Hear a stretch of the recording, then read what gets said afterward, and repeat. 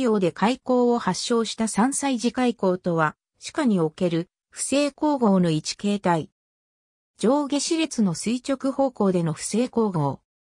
上下の歯を噛み合わせたときに、前歯部が理解する前歯部開口と、旧歯部が理解する旧歯部開口がある。通常、前歯部が噛み合わない前歯部開口を指して言う。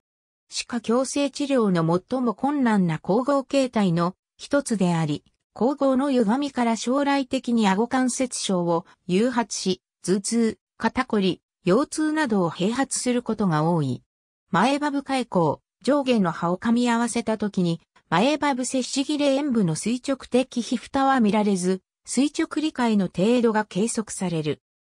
旧歯部開口、上下の歯を噛み合わせた時に、旧歯部後頭部の光合接触は見られず、垂直理解の程度が計測される。旧歯部開口は通常、片側で開口状態を呈する。通常、化学摂氏の接縁は、規定結節か、またはその髪型で、上顎摂氏の絶側面に接触している。すなわち正常ならば1から 2mm の垂直的、皮蓋が見られる。遺伝的要因、環境的要因、体制期の発育障害、歯の発育障害、不適当な放出誘導、口呼吸、下癖、軟性食物、睡眠体癖、おしゃぶり、指しゃぶりなど、心微障害、化学運動障害、高校機能障害、顎関節症、不正光合に関連のある歯周病及び癒食。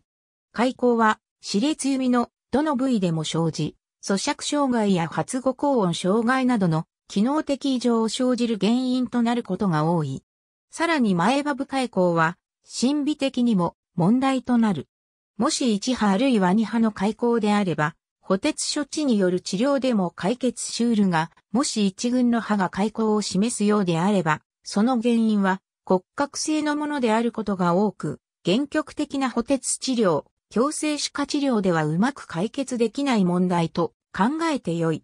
こうした場合には、開口状態のままで修復あるいは刺繍治療をうまく行えないようであれば、外科的処置を伴う包括強制歯科治療を考えなければならない。